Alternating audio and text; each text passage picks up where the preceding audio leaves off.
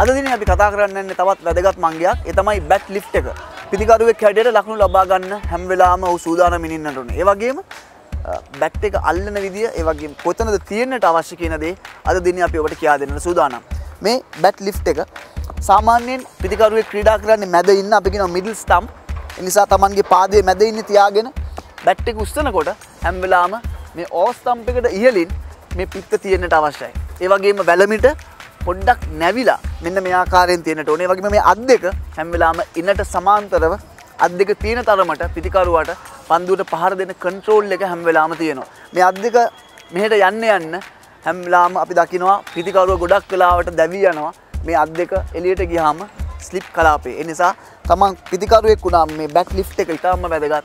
හරියාකාරව ඉන ඒ වගේම සමාන්තරව අත් දෙක තියෙනවා. ඔබට පේනවා වැලමිට මදක් නැවිලා තියෙන්නේ. ඒ වගේම හිස හරි කෙලින්.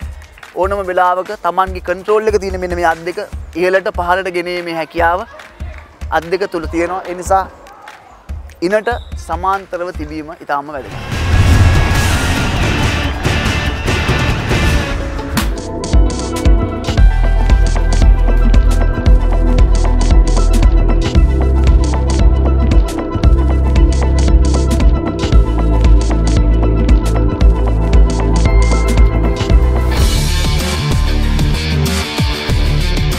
ඔබට දැන් පෙනෙනවා මේ දකුණත් පිතිකරුවෙක් ඔහුගේ බැට් ලිෆ් එක ගැන අපි කතා කරන්නේ අයි බලමු දැන් ඔහු කොහොමද බැට් එක උස්සන්නේ කියලා. මෙතනදී අපි කතා කරා වැලමිට මදක් නැවෙන්නට අවශ්‍යයි. දැන් ඔබට පෙනෙනවා ඇති පිත්ත තියෙන ස්ථානය. මේ වැලමිට මදක් නැවුනොත් තාමත්ම පහසුවෙන් මේ පිත්ත ඕස්තම්පට උඩට එනවා. ඉතින් ඒ නිසා හැම වෙලාවම මේ වැලමිට මදක් නැවෙන එක ඉතාමත්ම වැදගත්.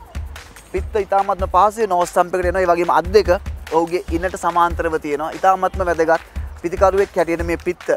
මෙන මේ ආකාරයට එලියට යනවා නම් ඔහුට කිසිම කන්ට්‍රෝල් එකක් නෑ නමුත් නැවතත් අයි බලමු. ඔහු හරියාකාරව කොහොමද බැට් එක උත්සන්න බැට් ලිෆ් එක හරිම ආකාරය.